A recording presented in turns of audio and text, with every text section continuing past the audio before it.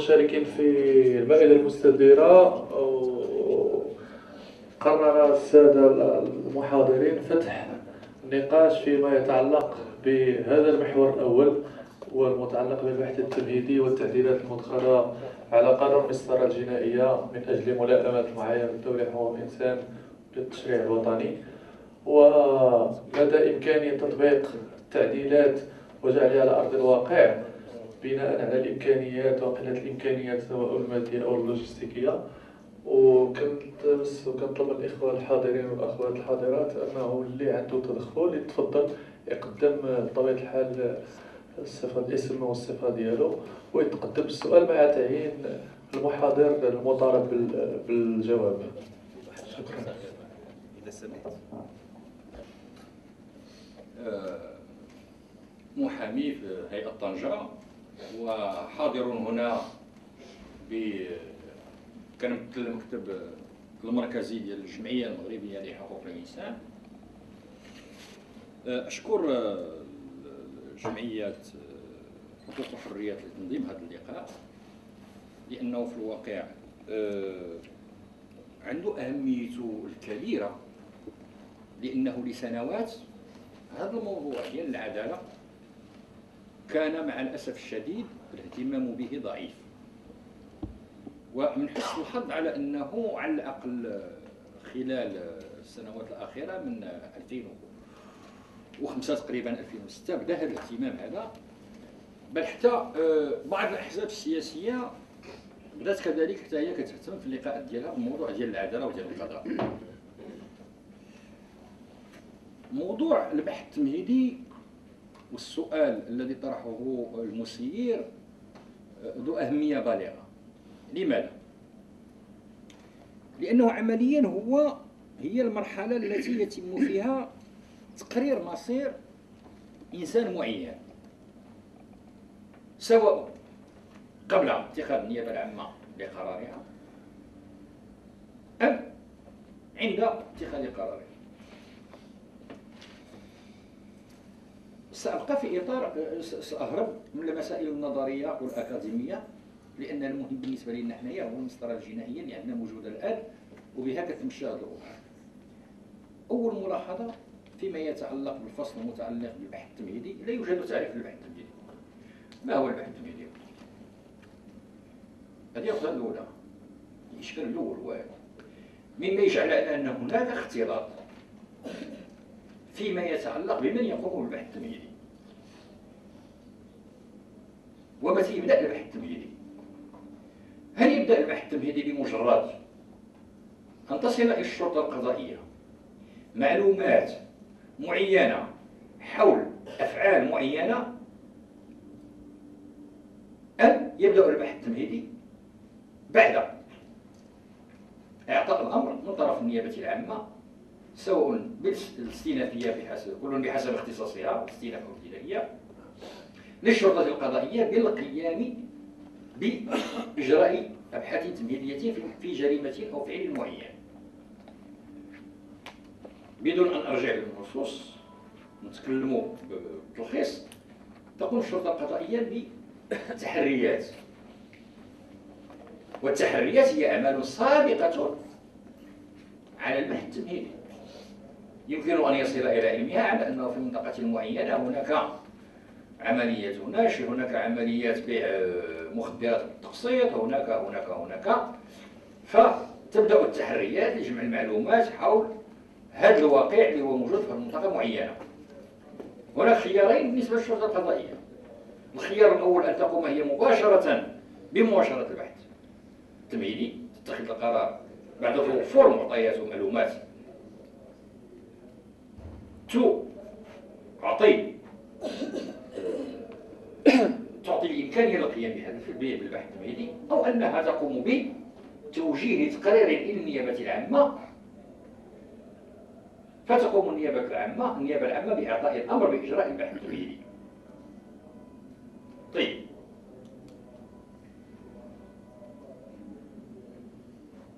هناك كما أشرت إشكالية في النصوص في صياغة النصوص عفوا. فمن ناحية نجد فصلا يقول أن وكيل الملك لدى الابتدائية هو الذي يشرف ويسير. والفصل الذي يليه في الفقرة الثانية يقول على أن الشرطة القضائية تشتغل تحت سلطة الوكيل العام. تنازع الاختصاص إشكالات شكون اللي كيسير شكون اللي كيشرف شكون اللي عنده السلطة. خصنا نحددو إما أنه تقل بجوج بيهم كيشرفوا ومن بعد راه كتجي في وكيل الملك الوكيل العام في الاختصاصات ولكن على الأقل صياغة النص خصو يكون هناك نص واحد عوض نصين هذه المسألة المسألة الثانية فيما يتعلق بمراقبة البحث التمهيدي عمل البحث التمهيدي مراقبة عملية البحث التمهيدي أقول وليس عمل الشرطة القضائية. هي من اختصاص النيابة العامة. والنيابة العامة أقول هي جزء من القضاء. أعتبر على أن المادة 117 من الدستور تشمل كل الجسم القضائي. وبالنسبة إلي في دلالتها. يقوم القاضي بكذا هي تقوم يقوم القضاء. نفس الدلالة بالنسبة إليه. لهذا لا أستثني القضاء الجالس من عملية حماية المواطنين وتوفير الأمن القضائي لله لا أستثني النيابة العامة من هذه المسألة. الإشكال المطروح هو كيفية قيام النيابة العامة بتتبع ومراقبة عملية البحث التمهيدي خليهم مراقبة الشرطة القضائية اللي كتقوم بها الغرفة الشرطية. إلى آخره والقرارات التي يمكن أن تتخذها وهذا إلى آخره. واللي حتى هي فيها نقاش هذه المسألة فتح فيها قوس فيها نقاش لأن الاختصاص كيبقى الوكيل العام. هو اللي كيحيل على السيد رئيس الرئيس الأول وكذا إلى آخره. المواطن كيخصو باش يقوم هو بعملية شكاية ضد الشرطة القضائية خصو يقدمها للوكيل العام. والوكيل العام حسب كذا يفتح البحث والمحاضر وكذا وتدرج عليه المسطرة وحد يحيلها الرئيس الأول. إذا هنا كاين كاين واحد العرقلة فيما يتعلق بمراقبه اعمال الشرطة القضائية. ولكن عملية البحث التمهيدي هناك مسالتين كاين التعليمات الكتابيه واللي كتمشي في البداية بناء على اللي كتقدم شكايات كتابيه إلى آخره. المسألة الثانية هو ربط الاتصال. هذه المسألة ديال ربط الاتصال واللي اشار لها احد المتاخرين القضية ديال الهاتف نظرا للسرعه أو نظرا لكذا أو نظرا لكذا أو الحالة التي تفرضها إلى آخره. أنا أعتبر على أنه يمكن دائما التملص من هذه المسألة ديال آه، التعليمات آه، الهاتفية. ولهذا أعتقد بأنه هذه العملية يجب أن تكون دقيقة وأنه فيما يتعلق بجهاز النيابة العامة أنا لا أرى لماذا لا تكون هناك مكاتب النيابة العامة داخل مخافر الشرطة. لا أرى ما هو المانع. المانع هو الإمكانيات البشرية. هذه مش مشكلة. أنا لست هنا لأبرر لأبرر. أنا المفروض علي أن أقوم بالضغط من أجل التغيير. أما أن أقول نظرا للإمكانيات ما كايناش ونظرا ونظرا هذا ماشي شغلي أنا. الدولة تحمل مسؤوليتها. علاش تحمل مسؤوليتها؟ لأنه علاش ما بغيتش المغرب تحمل مسؤوليتها؟ لأنه ما ننساو شيء. القاعدة الأساسية هو أن العدالة هو موضوع سياسي وأن العدالة هي الوسيلة الأساسية ل كذلك ممارسة السلطة ديال طبقة معينة حاكمة جاثمة على الصدور. أو في إطار دولة ديمقراطية إلى آخره كتبقى دائما هي السلطة الثالثة التي تقوم بحسب طبيعة النظام إما بتحقيق العدالة والأمن القضائي أو العكس. نجيو للإشكالية الفصل 66 والتناقضات فصل 66 في الدستور اللي كاينة في الفقرة الثالثة كنظن ديال المادة 23 من الدستور فصل 66 المسألة الجنائية. هناك صياغتين مختلفتين. الدستور يلزم الإشعار والإخبار. المسطرة المدنية يتعين المسطرة الجنائية تستعمل عبارة يتعين ومع 751 تجي المحكمة تقول لك ما كاينش إلزام وبالتالي رفض الدفوع. أعطيكم واحد الحالة ديال المراقبة ديال اعمال المادة 66 كيفاش غادي نراقبوها أعتقد بأنه في علمكم جميعا ملف بور الشليحات والصحيحات هذاك الملف الذي أنجزت فيه تقارير وكذا إلى آخره. أثناء المحاكمة. سو أستاذ العسكري طبيعه المناقشة أنتم كما كتعرفوا تقتضي انه ما يتكلموش على بعض الملف على محل أه في إطار المراقبه ديال المادة 66 وإعمالها حقيقة طلعنا في المحاضر على أنه فعلا تم وتم إشعار كذا بحقه في كذا وكذا وكذا وكذا وكذا وكذا. فسألناها فعلا أيها الناس وشعرتم بكذا وكذا وكذا وكذا. واتصل بأفراد عائلتكم وكذا وكذا. لا. طيب.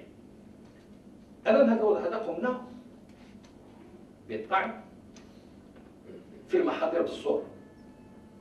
تعرفوا على أنه من الناحيه المسطرية ملي كتكون دعوة جارية أي وثيقه في أي وثيقه موجودة يطعن فيها اثناء سريان تلك المسطرة. لم يلتفت الينا نهائيا لم يلتفت إلينا نهائيا. قلنا بان البحث تمهيدي راه غير سليم على أنه لم يكن كذا ولم يكن كذا وفي ملفات أخرى وكثيرة. وأعطيت أمثلة من طرف الأستاذ ازوغار حول القضية ديال واحد عنده هيئه عندها 60 ملف و600 ملف وواحد عندها 30 كذلك حنا يعني مدينة طنجة. كانوا عندنا قضاة تحقيق. واحد عنده ملف وواحد عنده 15 لأن مول 15 كاين في التعليمات ديال النيابة العامة وهذا المول واحد. أنا تيقول لك علاش؟ هنا غير تلمس اعتقال ولا ما تلمسش اعتقال. ولا في الحاكم المحكمة الابتدائية إلى آخره. هذا مشكل فعلا مشكل حقيقي يتعلق بالمسار الجنائي ومرتبط بفلسفة حقوق الإنسان بالدرجة إعمال إعمال المواثيق الدولية في مجال إقامة العدل. هذا هو الإشكال الحقيقي. لهذا الصياغات حقيقة واحد المساله أثرها أحد الأساتذة. هي قضية كيف يمكن أن المواثيق الدولية لا تتضمن مجموعة من الأشياء لا المواثيق الدولية تعطي مبادئ عامة. تعطي مبادئ عامة التي على الدول أن تقوم بصياغتها دون أن تخرج عن إطارها. هذا هو اللي كاين. لا أقل ولا أكثر. بحال مثلا نعطي واحد المثال. بسيط المثال ديال آه، العنف ضد المرأة. الاعلان المتعلق بمنع جميع إشكال العنف ضد المرأة. هو ليس اتفاقيه دوليه هو إعلان. ولكن يوجد في القانون الجنائي بعض مقتضياته مسألة ديال منع جميع آه، أشكال الاتجار بالمرأة والطفل واستعمال دعاره الغير كذلك هناك عقوبات في القانون الجنائي صارمة في هذا المجال ومخوضه من ديك القانون الاطار ولكن الدولة ما باغياش دير اذا المشكل هو في الفلسفة. يجب على المسطرة الجنائية أن تكون في ديباجتها. لأن كاين في ديباجتها تحديد المرجعية. أما مسألة الخصوصية باش نكونوا واضحين كل من كما قال الأستاذ السيد مصدق في مداخلة له وهو من الناس الذين كانوا يعني ديال السودان والذي كان في مرحلة من المراحل يدافع عن الخصوصية. بعدما عانى وعانى من نظام البشير قال في إحدى مداخلاته وكان بمناسبة مؤتمر ديال المنظمة العربية لحقوق الإنسان قال كل من يطرح مسألة الخصوصية في حقوق الإنسان إنما يطرحها من أجل عدم إعمال حقوق الإنسان. فلا خصوصية في حقوق الإنسان واعتذروا إن أطلت والصلاة والسلام على أشرف خلق الله. الشكر موصول. جمعية حقوق وعدالة رغم أننا نواخذ عليهم عدم ترشيد وتدبير الوقت وعدم احترام الجدول المسطر عفوا أستاذ إبراهيم الثاني باحث في العلوم الجنائية وقاضي بالمحكمة الابتدائية بطنجة. ناقش السادة المحاضرون جزاهم الله خيرا عدة نقاط مهمة مهمة جدا ولكن للأسف من باب النظري ومن باب لي مودو كما كيقولوا من باب العناوين الكبرى. فملي كنتكلموا على محاضر الشرطة الشرطة القضائية مثلا خصنا نعرفوا الأهمية ديالها منذ البداية إلى النهاية إلى تسطير الحكم في القضية. فالمحاضر ديال الشرطة القضائية هي موجهة منذ البدء للحكم النهائي. هادشي في الجناح طبعا وفي المخالفات. بقينا كنسمعوا متهمين كيجيو كيقول لك أنا في الجدارميه ولا البوليس قطعوا لي ثلاث سنين وقطعوا لي ربع سنين. قالوا لي تما قالوا لي راه قطعنا لك ثلاث سنين. عسير. هكا. للأسف. للأسف للأسف وللأسف أننا لازلنا نعيش نعيش في مرحلة المخزنة. فلهذا خصنا وخاص هاد الجهات هذه اللي مشرفة على هذا الحوار الوطني وهاد الهالة وهذا واخا جابوا الناس ما نعرف منين جابوهم وخلاو أهل الدار لم يستشاروا ولم لم يشركوهم في الأمر. حجية المحاضر الضابطة القضائية خاصها ما تبقى عندها حتى حجية. مجرد بيانات تحال على السيد وكيل الملك كيفها ويحيلها على المحكمة. ولكن تعطى للمحكمة والنيابة العامة جميع الصلاحيات وجميع آه، المواد اللوجستيكية باش تقدر تحقق في القضية. باش نكونوا نطبقنا عليها تطبيق سليم للقانون. فملي كيجينا محضر فيه. اعترف ولا انكر اش غنديروا اش غدير المحكمة؟ وصافي المحكمة يسدوها ويمشيو اللي اعترف عند اللي اعترف عند البوليس يحكموا عليه في باب باب الكوميسارية. واللي نكر عند البوليس يحكموا عليه باب الكوميسارية. ويا دار ما دخلك الشر ويسدوا المحاكم ويوفروا فلوس ديال يوفروا المداخل ديال على الأقل في الجنح يوفروا المداخل ديال اللي كيصرفوها القبضات وإن كانت هزيلة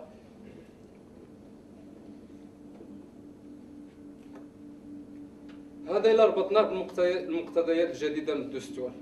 كنلقاو أن في الدستور يعني كما قال الأستاذ الكريم ان أن من الناحية القانونية أنا أتفق معه أتفق معه كامل الاتفاق. أن عندنا منظومة قانونية ممتازة ممتازة وين كان خاصها شي شوية ولكن راه من ناحيه من ناحيه من ناحية الاساسيات اساتذتنا هنا في القانون راه كيعرفوا بلي عندنا منظومة ممتازة منظومة قانونية ممتازة جدا. بسبب واحد بسيط هو أنهم نقلوها من دول متطورة ودول متقدمة وجابوها حطوها لنا دون أن يراعيوا لا لا لا لا, لا التكوين ولا الخصوصية وهنا بين قوسين ماشي الخصوصية اللي تكلم عليها اللي تكلم عليها الأستاذ في إطار حقوق الإنسان. لا الخصوصية المغربية. كيلقاو ونعطيكم مثال بسيط. راه كيخرجوا للشارع في الكوميسارية وكيجمعوا وكيجمعوا وكيجمعوا البنات اللي واقفة خارجه خارجة تسوق ولا خارجة كيجمعوهم كيديروا لهم التحريض على الفساد كيجي عند السيد وكيل الملك كيتابعوا من أجل من أجل من أجل التحريض على الفساد. رجعنا للنص القانوني. أنا نعطيكم وأتحمل المسؤولية. 99.99% ما كتوفر ما كتوفرش فيها العناصر ديال التحريض على الفساد. وخاصنا وخاصنا نعطيهم البراءة. للأسف كيباتوا في الكوميسارية يوم ويومين. شي راه ما خصوش يقول. والاستاذ الكريم كيهضر بصفتو نائب نائب وكيل وكيل الملك وكيقول حنا عندنا كثرات كثرات عندنا كثرة ديال كثرة الملفات وكثره حنا الأستاذ بعلي كنعرفو مزيان و هو أستاذنا قبل كل شيء ونحترمه شد الاحترام كباقي الأساتذة ولكن هنا هو قال كلام وأنا خاصني نحاسبوا عليه. هادشي علاش حنا كاينين هنايا. هذه ما اذا مس... هذه ما اذا مستديرة. إلا ما كانش نمشيو بحالنا حنا مضحين بالوقت ديالنا ومضحين بالأشغال ديالنا. هو قال كلام حنا ما كنحاسبوهش هو كنحاسبوا جهاز. وكيقول لك عندنا كثرة الاعتقالات. كثرة الاعتقالات وأرقام مخيفة ومهولة في الاعتقالات. علاش شكون اللي كيعطي السيد السيد الأستاذ جليل حنا يعني هنا جينا لاثاره نقاش مجموعة من النقاط القانونية والعملية وبالتالي حنا مستعدين يعني نجاوب على أي سؤال أي تفضلوا تطرحوه وهذا هي الغاية ديال المائدة المستديرة الآن. غير السؤال اللي بغيت نطرحه أنا اللي بغيت نوضح لك واسال كما تشاء هذا مسألة طبيعية. ما قلتش أنا في المداخلة ديالي على أن هناك كثرة الاعتقال. أنا كنقول على أنه بالنسبة للمحكمة من حجم الدار البيضاء بحكم الممارسه التواجد ديالنا فيها هو أنه كاين هناك العدد ديال المقدمين هو العدد المرتفع. وقلت لك بأن عطيتك إحصاء بالدرس سنة 2011 قدم أمام السيد وكيل الملك لدى المحكمة الابتدائيه بالدار البيضاء 89 شخص. ماشي معتقل معنا. هاد الناس اللي تقدموا تقدموا أمام النيابة العامة والنيابة العامة خدات في حقهم. كاين قرار ديال الحفظ كاين المتابعة كاين اللي حال على التحقيق وكاين قرار ديال الاعتقال. وكان هو أنا عطيتك إحصاء اللي حديث هو غير البارح. كنقول بان تقدموا أمام النيابة العامة 387 شخص. اعتقل منهم 41 شخص. ومشيت للنتيجة كنقول بأن المقاربة اللي كي الآن اللي كنناقشوا على الاعتقال الاحتياطي ماشي صحيحة. كنقولوا بأنه اذا كان الاعتقال الاحتياطي في مجموع تراب المملكه بناء على الاحصائيات اللي قدمتها الوزارة ديال الحريات كيقولوا راه مرتفع راه ماشي ماشي أن النيابة العامة ولا السلطات ولا قضاة التحقيق اللي يسرفون في الاعتقال ولكن لأن الدائرة الإجرامية مرتفعة. هذا هو السؤال وبالتالي طرح السؤال في هذا السياق. للتوضيح. أنا كنعرفوا التقديم وكنعرفوا الاعتقال وكنعرفوا الاعتقال الاحتياطي وكنعرفوا الإيداع وهذه المسألة راه الإخوان كاملين هنا راه موجودين. الحمد لله غير القانونيين والحقوقيين. هو التقديم. شكون اللي مسؤول عليه؟ شكون اللي مسؤول على هذوك الناس يباتوا في الحراسة النظرية؟ واش داك الضابط ولا النيابة العامة؟ باستثناء حالة التلبس اللي حتى هي كتطرح لها واحد العلامة كبيرة استفهام هذيك حالة التلبس واش الضابط مؤهل باش يحدد لنا واش كاينة حالة التلبس ولا لا. إلا جاب لك حالة التلبس راه حكم الملف الثاني إحنا رجعنا ليه. واش ماشي؟ النيابة العامة هي المسؤولة على وضع دوك الأشخاص في الحراسة. واش هذوك هذاك هذاك الشخص اللي الغد ليه كتعطيه كتحفظ الملف ولا كتمتعو كتمتعو كتمتعو بصار تتابعوا في حالة صراح وفي الآخر كيدي البراءه شكون اللي مسؤول على هذيك الليلة ولا يومين اللي, اللي كيبات فيها؟ هنا فين خاصنا نراعيو الخصوصيه المغربية. كتعرف باللي لا إلا إلا بات الشخص عندنا في العائلات المغربية إلا بات الشخص في الكوميسارية اش كيتقال عليه في العائلة ولا؟ كتعرف حالته كيعتولي ولا؟ كتعرفوا فين كيبات؟ أنا كن كنتكلم بالعموم ما كنقصدكمش عندنا أنتم كتعرفوا هذا الشيء مزيان كتعرفوا وكديروا الزيارات وكتعرفوا فين كيبات. كتعرفوا باللي باللي تا سميتها تل تل تل بعض المخافر فيها البرودة. والفاهم يفهم فيها البرودة. ماشي البرودة اللي كنعرفوا فيها البرودة النيت لهذا خاصها صراحة ترفع ترفع مسألة مسألة هذاك الحجية اللي كتعطى المحاضر ويبقى تبقى مجرد بيانات. هذا من جهة ومن جهة أخرى منح الصفة الضبطية في حد ذاتها الضابط اللي غيحرر لنا محضر اللي غادي تبني عليه المحكمة وغادي تبنى عليه جميع الإجراءات اللي كتجي ما بعد البحث التمهيدي من تحقيق ومن محاكمة ومن حكم. خاص الصفة الضبطية ما تمنحش بهذه الطريقة اللي كتمنح بها دابا استنادا لقانون المسطرة الجنائية. خاصنا ضباط مكونين بشكل كيراعي حقوق الإنسان وكيراعي الادميه ديال هذا المجتمع هذا. ماشي الشخص اللي اللي التكوين ديالو ضعيف ولا التكوين ديالو. خاصو يكون يعرف قبل ما قبل ما يحرر ذاك المحضر. راه هذاك المحضر عاد تبنى عليه عاد تبنى عليه حوايج كثيرة. ربما تقدر تكون خطيرة. تقدر تهدم أشخاص. تقدر يعني تشتت عائلات. تقدر هنا خصنا الصفة الضبطية تمنح لجهات معينة وأشخاص معين معينين بشكل دقيق ومكونين تكوينا خاصا جدا. كاين مسألة أخرى ناقشوها الاساتذه الأجلاء هي قرينة البراءة وما يرتبط بها من من من نصوص نص عليها في الدستور. واش فعلا هاد النصوص؟ ها هي عندنا ومسطرة بالبند العريض. واش فعلا تحترم كما أريد لها أن أن تكون؟ فكنلقاو مثلا أن قرينة البراءة هي الأصل.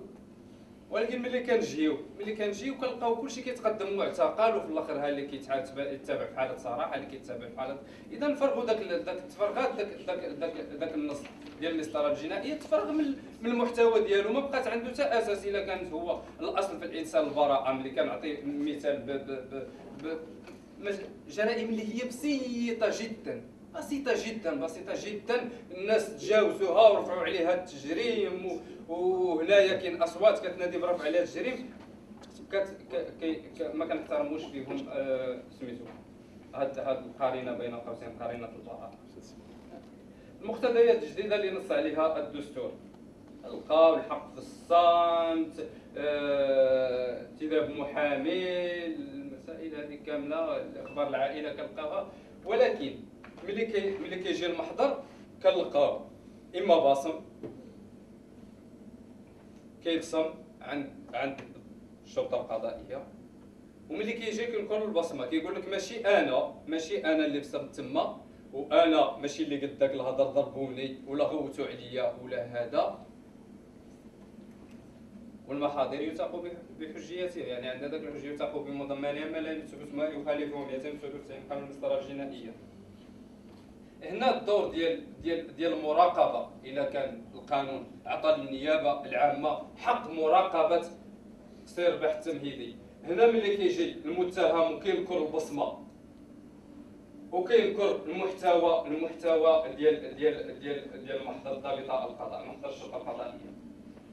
فين هو الدور ديال النيابة العامة علاش ما تحقيق على ذاك البصمة؟ شوف واش هو اللي بصم ولا لا علاش ما تستبعدش المحضر ككل وتصنت له. إطار الحق في الصمت. من يملك الكل يملك الجزء. ما دام أن القانون والدستور عطاك الحق في الصمت. إذا أنت تستبعد. سير كيقول لك أنا ما ما, ما قلت والو تما. هذا المحضر شدوني في اللخم وقالوا لي وقع. ووقعت ولا قالوا لي واش هضرتي؟ واش صرحتي؟ ما صرحتيش. إذا نستبعدوا المحضر وحنا كنيابة عامة نعاودوا المحضر من من جديد. راه الا الا الا التزم بالصمت. شكون اللي غيسمع له. راه ما تسمعلوش المحكمة إلا التزم بالصمت. راه غادي ملي تقدم امام النيابة العامة ولا امام قاضي التحقيق هو اللي غادي غادي يسمع له وسمحوا لي إلا كنت طولت. هذا من جهه ومن جهة أخرى عندي غير واحد الإشارة للأستاذ الكريم. قال رفعوا الصفة الضبطية على النيابة العامة وقاضي التحقيق. أقول أستاذ الكريم بصراحة أنا ليس متفق معك تمام الاتفاق. لسبب واحد إننا لسنا مؤهلين يعني كمجتمع وكضابطة قضائية اننا أننا نرفعوا الصفة على هذا هاد. إلا رفعنا الصفة حتى هذا الشيء اللي كاين دابا هاد شوية البسيط من الحقوق والحريات اللي كتعطى لذاك المعتقلين وكتعطى لذوك الناس اللي محطوطين في الحراسة النظرية وهاد الناس المداعية راه ما غاديش تبقى إنما غتبقاش الرقابة ديال ديال ديال ديال ديال, ديال السلطة القضائية في هذا الحال إلا إذا نعطيو نعطيو البديل نعطيو اللي عطينا البديل ممكن راه الا إلا رفعنا إلا رفعتوا عليها صفة ضبطية. غادي يولي المعتقل معتقل في أصيلة وحنا في طنجة هنايا يعيط لهم يعيط لهم قاضي التحقيق يقول لهم جيبوا لنا المعتقل. حتى واحد ما يسمع ليه. يبقى المعتقل تما 15 يوم و20 يوم وتا واحد ما يجيب له. يعيط يعيط المؤسسة السجنية يقول لهم يقول لهم صيفطوا لنا المتهم. خصوصا الاخوه راه كيعرفوا في المساطر المرجعية راه جوج ولا ثلاثة كيكونوا مسجونين كل واحد في السجن. وكاين وكاين مسطرة هنايا ومعتقل فيها متهم الحقوق ديالو كتضيع الحرية ديالو مقيدة ولكن ملي ملي كيعيطوا لهم باش يجيبوا إلى رفعت الصفة الضبطية كون ما, ما غادي يجيبوش وشكرا وأعتذر ثانية عن أه، حسن محمد علان ناشط حقوقي أه، في منتدى حقوق الإنسان لشمال المغرب. أه، في البداية أريد أن أثمن هذه المبادرة القيمة. اللي قامت بها جمعية آه، العدالة آه، والشكر كذلك على الدعوة. ومع ملاحظة بسيطة حول شعار هذا اللقاء اللي كيقول من أجل المغرب أكثر عدلا. وأنا كنقول واش فعلا خصوصا من بعد ما سمعنا الشاب كيهضر على الواقع العدالة. واش فعلا أن المغرب فيه عدل باش نديروا شعار وكنقلبوا على المغرب أكثر عدلا إذا هذه غير كملاحظه بسيطة كمقدمه له ثم كذلك كنشكر الأساتذة الأجلاء اللي فعلا تناولوا الموضوع وكثير من الأمور اللي قالوها وضعت الاصبع على مكامن الضعف ديال هذه المنظومة القضائية عندنا بالخصوص القانون الجنائي. واللي بغيت نلاحظ أنا كملاحظة عامة ومن بعد غادي نعطي واحد السؤال وواحد الملاحظة أخرى على آه، هذه المسألة ديال القانون الجنائي. آه، أنا كنتفق تماما مع اعتقد الأستاذ آه، السكتاوي اللي هضر على أساس أنه الإصلاح ديال منظومة القضاء الجنائي ما يمكنش تكون بمعزل عن مصلوح عن مشروع إصلاح ديال القضاء. بصفة عامة ملي كنقولوا منظومه القضاء يعني بمكوناتها. يمكن تدخل فيها جميع المكونات. وما يمكنش إصلاح القضاء يتم بمعزل عن إصلاح جميع المؤسسات ديال الدولة لا آه، أستاذ آخر هضر على آه، التعليم. هو الأساس الحجر الأساس يعني في إطار الإصلاح ديال أي إصلاح بغينا نقوموا به. الوضعية ديال التعليم في بلادنا لا تبشر بخير ويمكن الوضعية ديال التعليم ديالنا اليوم كنحكموا على كيفاش غادي يكون المغرب من هنا 20 و 30 عام.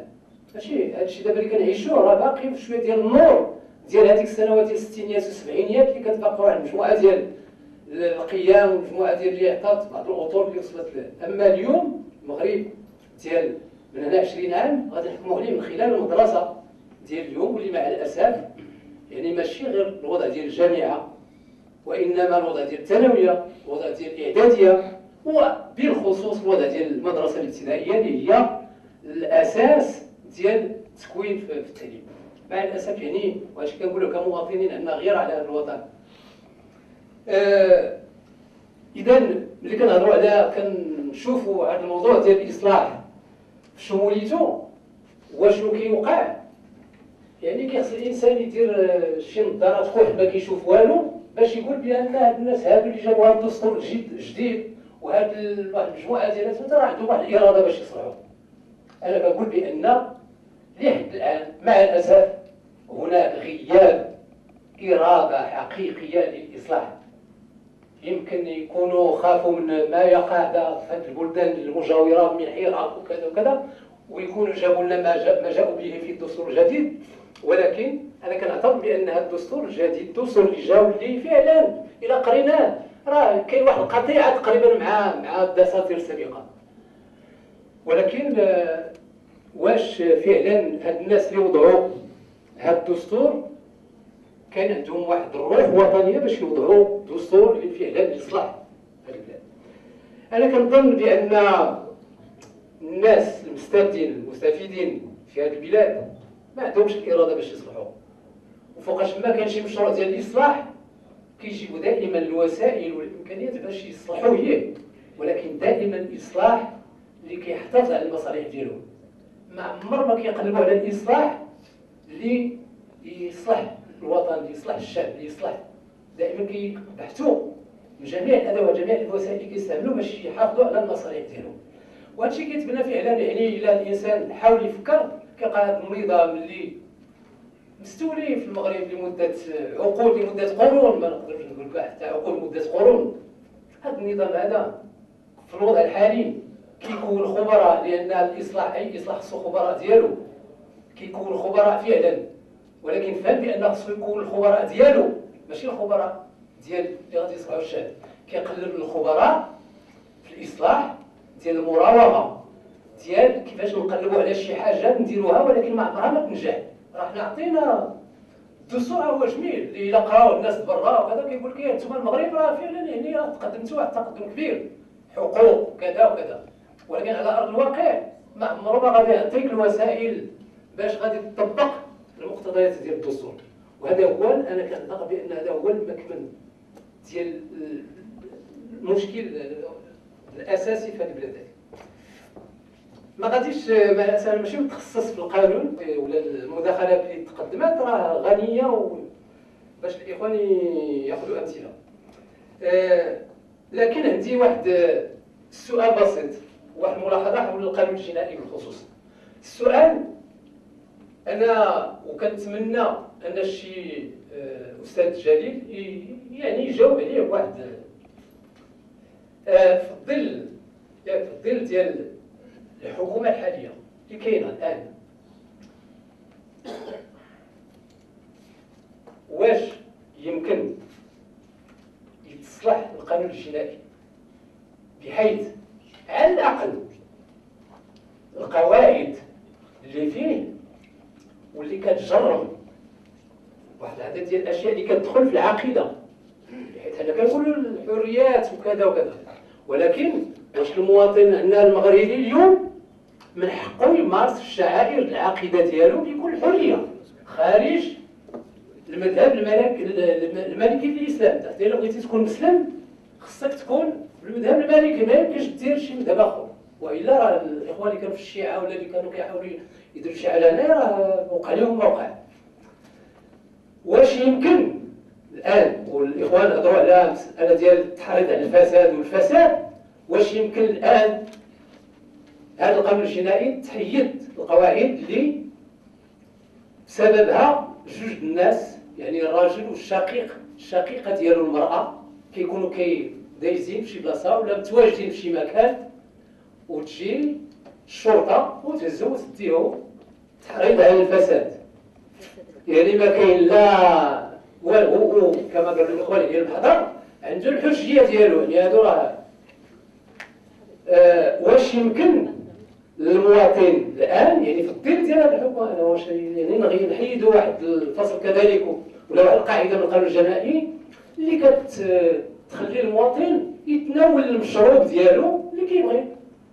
وأنا واحد المجموعة ديال الناس كيمشيو للمجار ولا يمشيو لهذا كيشريو الجوعة كيشربوها هذاك حقو انت غادي تجي لا يعني السكر العلني وغادي تقدم لي والحجية وكذا غادي تمشي للسلام.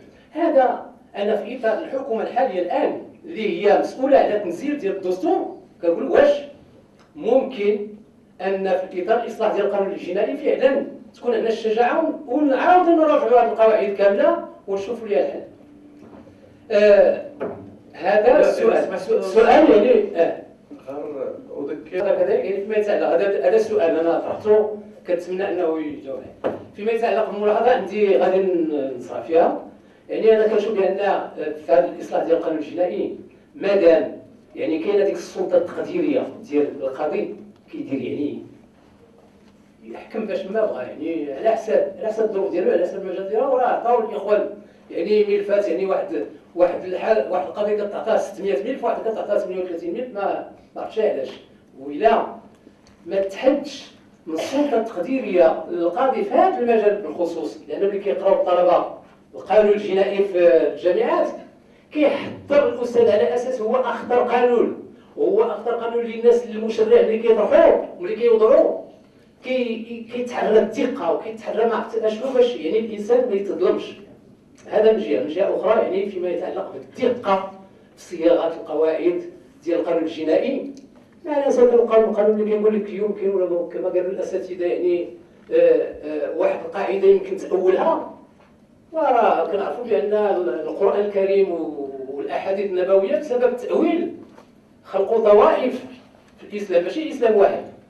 ولهذا ما نبغيوش يكون عندنا قانون جنائي فيه يعني روافد. كل واحد يعني كيحكم بما بغى على حسب التأويل ديال القاعدة. وشكرا واسمحوا لي لهذا الدول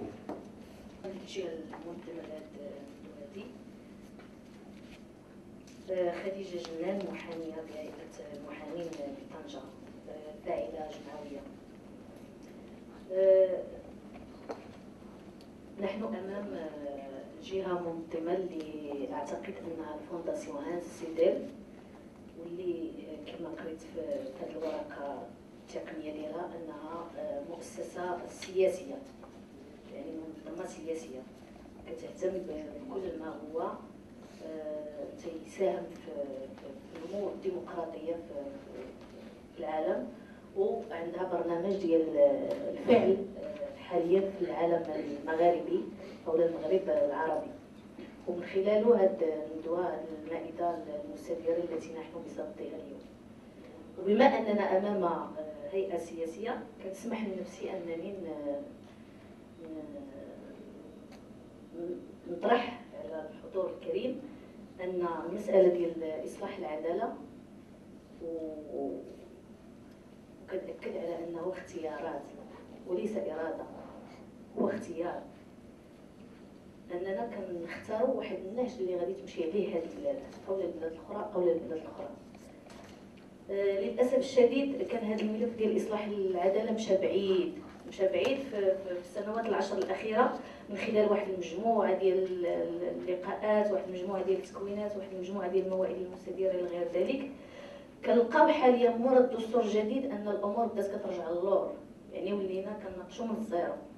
كانت عندنا مكتسبات عوض ما نستثمروها ونفعلوا الأمور ديالها رجعنا رجعنا لنقطة الانطلاقة.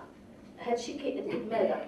كيأكد أننا كندوروا في واحد الدوامة مفرغة اللي كتزيد تأكد لي أن هي إصلاح العدالة اختيار وليس إرادة.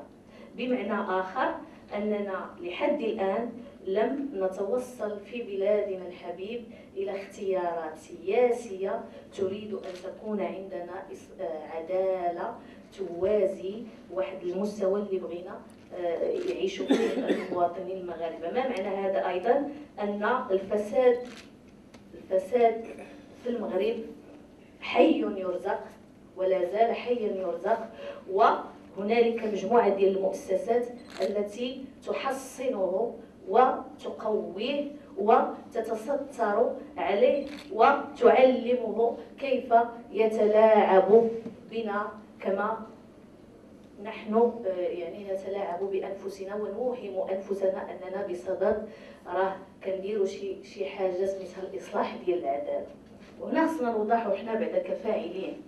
كفاعلين. سياسيين كفاعلين جمعويين كفاعلين اجتماعيين كفاعلين إلى غير ذلك حنا نعرفوا راسنا واش عندنا هذا الاختيار. واش حنا كقطب آه، قطب يعني مضاد للقطب اللي مختار الفساد واش حنا عندنا هذا الاختيار هذا ديال أننا فعلا نساهموا في إصلاح العدالة.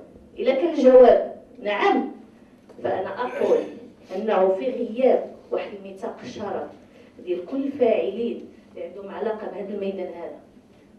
وحنا اليوم بصدد إصلاح العدالة يعني الجنائية أننا نشوفوا الفاعلين في هذا المجال هذا اللي هما كيبداو من الضابطة القضائية كنطلعوا حتى لقضاء الحكم وحتى المؤسسة السجنية.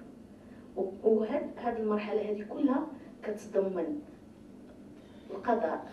الضابطه القضائية بشتى يعني مكوناتها. المؤسسات